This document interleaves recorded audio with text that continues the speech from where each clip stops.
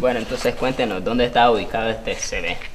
Bueno, este CB está ubicado en el Instituto Municipal de Alahuina, este es el CB 002 de la Junta 0030 031. Eh, cuéntanos un poco cómo ha estado el proceso de verificación. Pues eh, gracias a Dios la gente ha estado activa participando este, en estas verificaciones para elecciones de este año 2012 y todo, todo pasivo, la gente está participando bastante. Es un total de pasivo de, activo de 523 y un pasivo de 53. La participación ha estado más por el, lo adulto. Por los adultos. Por los adultos. Hasta el momento de ayer y hoy se han hecho un total, hemos contabilizado un total de 54 cambios de domicilio. ¿Se ha llegado a la meta o todavía no?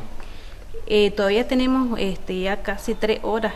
Vamos a esperar porque probablemente lleguemos a la meta.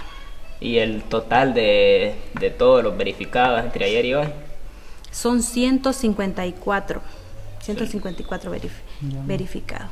Dentro de eso están los cambios de domicilio, las cédulas perdidas y todo eso. Esto es muy importante, no solamente para las elecciones, sino este, para que aquellas personas que han perdido su, su cédula puedan ser este, obtenida lo más pronto posible y también que este, los cambios de domicilio, que a veces son importantes porque hay unas personas que les queda muy larga la Junta Receptora de Votos y es una de las causas también que la gente no acude a votar para que en este momento se le pueda hacer eh, cual, se le pueda dar solución a su problema y, y que acudan pues nos estamos esperando incluso hasta las 5 de la tarde es la, la, la, meta para cerrar.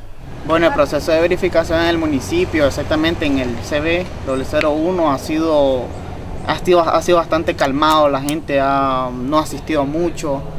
Este, aquí tenemos las tres JRB de este centro y pues la gente ha sido poca, sobre todo la juventud ha estado un poco apática lo que es la verificación. Esto siempre se da, lo que pasa es que hay gente que dice, yo ya sé que voto ahí, entonces ¿para qué voy a ir? Pero bueno, no, sí ha estado un poco concurrido, no mucho. El total de votantes que tenemos en el, en el activo es de 1093. En, en el padrón activo son 1093. ¿Y en el pasivo? En el pasivo tenemos 96. Cambios de domicilio, ahorita tenemos este tenemos 14 cambios de domicilio entre ayer y hoy. Reposición de cédula. Reposición de cédula tenemos 6. Bueno, hasta el momento tenemos verificados aquí en el municipio de La Huina 2.121 militantes del Frente Sandinista. ¿Cuántas juntas receptoras de votos son? ¿Cuántos centros de votación? Aquí son 11 centros de votación. Bueno, la participación ha sido buena. Eh, por lo menos el día 28 de noviembre el inconveniente que se presentó fue que las universidades no cancelaron las clases, ¿verdad?